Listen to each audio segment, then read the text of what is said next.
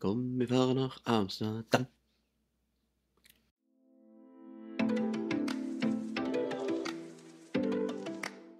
Servus, Marcel, euer Streetfotograf, Videograf aus Leipzig. Und ja, da war ein kleiner Kurzurlaub angedacht und zwar nach Amsterdam.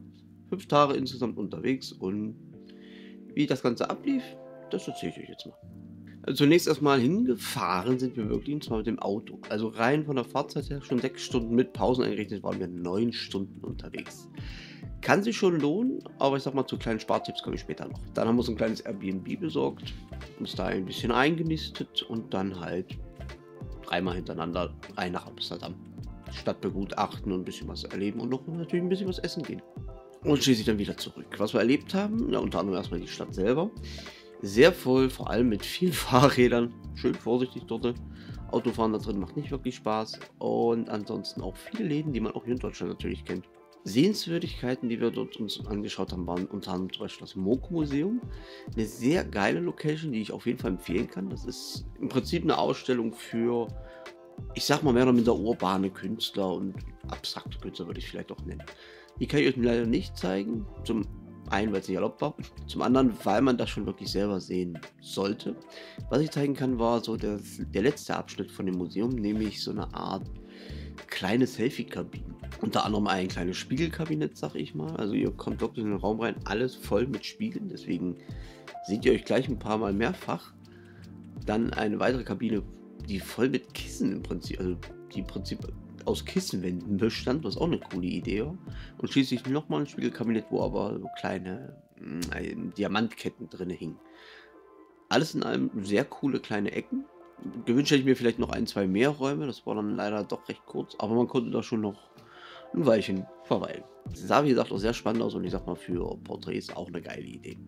Dann haben wir uns eine Krachtenfahrt zwischendurch gegönnt, die Pallenkückenfahrt beziehungsweise auf dem Pannenköckenboot waren wir. Also im Prinzip eine reine Pfannkuchenfahrt. Ihr fahrt einmal über den Kanal lang äh, bei Amsterdam am Hauptbahnhof und könnt dort so viele Eierkuchen essen, wie ihr wollt. Und ja, das habe ich. Aber so viel habe ich dann auch nicht geschafft. Und für diese Fahrt habe ich ebenfalls einen kleinen Spartipp später für euch. Spaß hat es gemacht, das Essen war ganz gut. Mir persönlich hat zu Eierkuchen Apfelmus gefehlt, das verstehe ich gar nicht. Was soll das? Aber sonst mh, war schon ganz nett.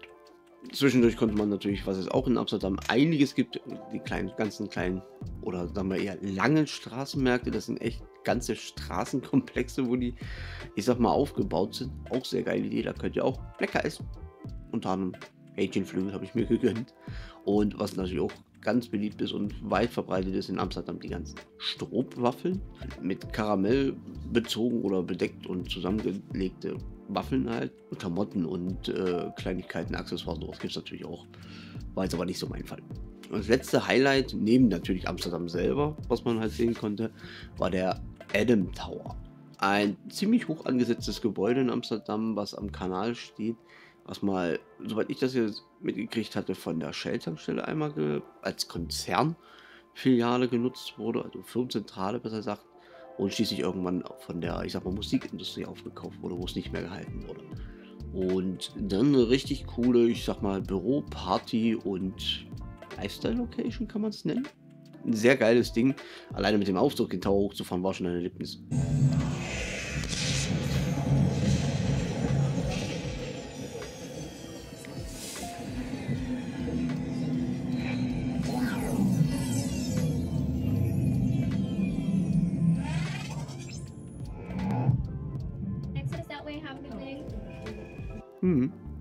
In dem Gebäude selber, wie gesagt, Bürokomplexe gibt es, es gibt äh, kleine Partyareale, der ganze obere, das ganze, äh, die ganze Aussichtsplattform wird ebenfalls ein Partyareal in manchen Zeiten. Und dann könnt ihr auch noch eine Runde schaukeln gehen, wenn ihr wollt. Und zwar über die Kante der Aussichtsplattform hinaus. Spannend. Also kann man auf jeden Fall mitnehmen.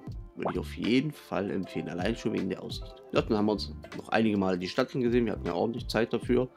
Wobei man sagen muss, drei Tage, das geht dann auch schneller rum, als man denkt. Und schließlich ging es dann auch wieder zurück. Nochmal neun Stunden unterwegs. Hm. Wichtige Frage: Streetfotografie in Amsterdam? Geile Idee.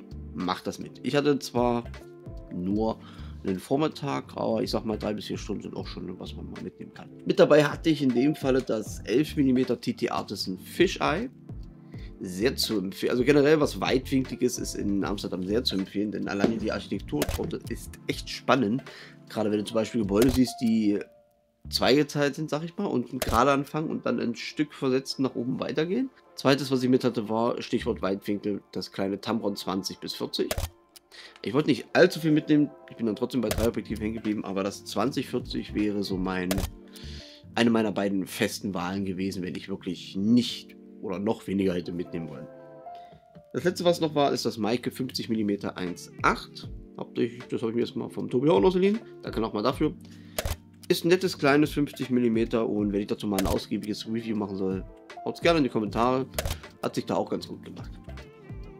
Was ich in dem Moment leider nicht da hatte, was ich gerne mitgenommen hätte, wäre ein 85er und zwar zum Beispiel das Sigma 85 1.4. Weil ich glaube, damit hätte ich dort ein paar richtig geile Porträts auch reißen können, weil allein schon die Menschen dort sind auch spannend, sag ich mal. da fehlt ja auch von allem was. Ansonsten, wie gesagt, Architektur, die ganzen Kanäle bieten sich an für Bilder. Und ihr habt auch viele kleine Details. Wie gesagt, mit dem Fischer zum Beispiel, da findet ihr richtig viel möglichen, äh, richtig viele Möglichkeiten, um vielleicht noch andere Objekte und Personen zum Beispiel auch einzuhaben. Wie zum Beispiel ein Straßengeländer, sag ich mal, wo ich eine Person eingerahmt habe. Also ihr könnt euch in Amsterdam schon echt austun. Aber aufpassen solltet ihr, wie gesagt, Fahrräder und Autos und Co. Jetzt habe ich mal noch fünf kleine Tipps für euch, wie ihr in Amsterdam noch, hm, ich sag mal, ein bisschen Ärger vielleicht und auch ein bisschen Geld sparen könnt. Tipp Nummer eins: Sucht euch äh, nicht unbedingt ein Hotel in der Stadt, sag ich mal so. Guckt auch ruhig außerhalb, da habe ich noch ein, zwei Tipps. Denn da könnt ihr auch noch mal ordentlich Geld sparen, weil, wie gesagt, Hotels in der Stadt teuer. Wir hatten selber, wie gesagt, ein Airbnb ein Stückchen außerhalb und das konnte man sehr gut nutzen, denn Tipp Nummer zwei, fahrt nicht mit dem Auto in die Stadt. Mm -mm. Lohnt sich nicht. Lohnt sich nicht. Es ist erstmal knackevoll. Ihr kommt gefühlt kaum vorwärts, weil ich sag mal, wo ihr in Deutschland vielleicht überall Autoschlangen habt, habt ihr in Amsterdam vor allem Fahrradschlangen. Und dann kommen noch die Fußgänger dazu. Also wie gesagt, parken und fahren mit dem Auto in Amsterdam, das macht nicht wirklich Spaß. Wir sind nur einmal kurz reingefahren, um, ich sag mal, Tipp Nummer 3 zu holen, wo ich gleich noch zukomme. Ja, äh, eine halbe Stunde haben wir vielleicht am Hauptbahnhof geparkt und haben dafür schon 10 Euro bezahlt. Also Richtet mal hoch, das lohnt sich nicht. Mm -mm, macht das nicht. Und ein Bonustipp übrigens noch: tankt auch nicht in Amsterdam. Tankt am besten, wenn ihr reinfahrt mit dem Auto, kurz vor der Landesgrenze. Wir haben dafür 1,67 nochmal voll getankt und sobald wir über die Landesgrenze waren, gingen die Preise schon auf über 2 Euro. Und äh, 2,20 Euro war so der Peak in der Stadt, wie gesagt, außerhalb mit Autobahn und Co. nochmal höher. Und im Durchschnitt, wie gesagt, hat sich bei 2 Euro eingependelt. Und ja, 30 bis 40 Cent pro Liter sparen. Das kann sich schon lohnen. Zumal mit reinfahren und wieder rausfahren habt ihr eigentlich nur so 400 Kilometer vielleicht, die ihr verballert. Also tankt nicht in Amsterdam. Macht das nicht. Tipp Nummer 3. Besorgt euch entweder in der Stadt oder vorher eins von, eine von diesen Tourist Travel Cards. Gibt es einmal für nur Amsterdam, also wenn ihr doch irgendwie was günstiges in Amsterdam gefunden habt, ist das schon mal eine gut, auf jeden Fall eine gute Option. Da habt ihr dann die Metro, die Straßenbahn und die Busse, die ihr nutzen könnt. Oder wenn ihr halt was außerhalb gefunden habt, nehmt das Amsterdam und Region Travel Ticket. Da habt ihr dann zusätzlich noch die ganzen kleinen äh, Bahnhöfe für die ganzen Randgebiete von Amsterdam, sag ich mal. Das kann man machen. Mit dem Auto wäre es nicht schneller gewesen und mit dem Auto hätte man einen Park-and-Ride-Platz äh, nehmen müssen und dann hätte man auch bloß reinfahren müssen. Also kann man sich Sprit und Nerven sparen, wie ich ja mit Tipp 2 schon erwähnt habe. Tipp Nummer 4, aufpassen. Mit, ihr müsst mit, auf jeden Fall mit offenen Augen und nicht unbedingt mit dem Auge auf dem Handy oder so durch Amsterdam laufen, denn da sind eine Menge Radfahrer unterwegs und wenn ihr nicht aufpasst, fahren die euch gerne über den Haufen. Ist uns glücklicherweise nicht passiert, aber es waren schon ein paar knappe Situationen dabei. Und Tipp Nummer 5, bei Lebensmitteln sage ich mal aufpassen, wo ihr einkauft. Wir haben zum Beispiel für ein kleines Abendessen im Airbnb teilweise 35 Euro bezahlt, was hier in Deutschland vielleicht bei der Hälfte gewesen wäre. Holla die Waldfee. Und auch Stichwort zum Beispiel Krachtenfahrt, die Panen-Kuckenboot, ne? Da haben wir für Getränke, was immer so 0,2 Liter Fläschchen waren, ähm, durchschnittlich gute 4 Euro bezahlt. Wenn es hochkommt, haben wir also für 1 bis 1,2 oder 4 Liter Getränke 22 Euro bezahlt und gleichzeitig kamen auch noch Steuern oder Taxes halt dazu. Ich weiß nicht wofür, es waren auch pro Person 2,50, wir waren zu viert, also 32 Euro für gerade mal 1,2, 1,4 Liter. Holt euch ein, 2 Liter Flaschen vor der Fahrt und dann könnt ihr da zum Beispiel Geld sparen. Und auch ansonsten, wie gesagt, in den Lebensmittelmärkten und Co. Da gibt es teure und günstige. Wie hier in Deutschland. Aber generell ist es ein bisschen teurer als in Deutschland. Fand ich. Mein Fazit zu Amsterdam, das ist eine Stadt, die sich auf jeden Fall lohnt. Haut ihr auch gerne mal in die Kommentare, ob ihr schon in Amsterdam wart, ob es vielleicht irgendwelche Locations, Events und äh, einfach Sehenswürdigkeiten gibt, die ich gar nicht mitgenommen habe. Ich muss natürlich sagen, in drei Tagen kann man einfach nicht alles sehen, ist klar. Aber ich sag mal, ich würde wahrscheinlich für einen reinen Fototrip nochmal nach Amsterdam kommen. Deswegen gerne in die Kommentare, wie eure Erfahrungen mit Amsterdam sind, falls ihr da schon wart oder falls noch nicht. Und vielleicht, falls noch nicht, was vielleicht eure Reiseziele wären, wo man auch mal einen Kurzurlaub machen könnte. Wäre interessant zu sehen. Schreibt mir gerne auf. Somit sind wir schon am Ende des Videos angekommen. Wenn es euch gefallen hat, ihr wisst Bescheid, haut gerne ein Like und ein Abo raus und noch ein Knöpfchen auf die Glocke, dann wisst ihr Bescheid, wenn ein neues Video rauskommt. Wie zum Beispiel auch das dritte noch von der Street-Runde in Amsterdam. Das markiere ich euch mal noch hier, falls es soweit ist. Und ansonsten würde ich mich, wie gesagt, für dieses Video verabschieden und würde sagen, geht raus, probiert euch aus und wir sehen uns im nächsten. Bis dann. Ciao.